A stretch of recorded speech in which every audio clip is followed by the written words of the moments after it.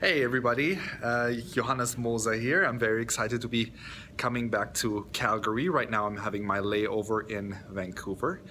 And everybody that travels with an instrument knows that it's hard enough to travel with one cello, shall we say, but I am traveling with two instruments this week um, because as part of the Fiesta Festival, I'm going to play Enrico Chapela's Magnetar, which is a concerto for electric cello and orchestra. Now, I've played this piece maybe 13 or 14 times um, since it was commissioned for the Los Angeles Philharmonic and Gustavo Dudamel and myself.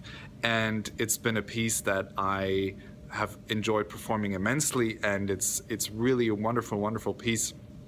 Very energetic, um, a lot of rock elements, some jazz elements in there, but also just really great contemporary classical writing. So please join us uh, for our concerts at Jack Singer Hall with the wonderful Calgary Philharmonic, Roberto Minczuk, and myself um, for a performance of Magnetar. I'm looking forward to seeing you there. Bye bye.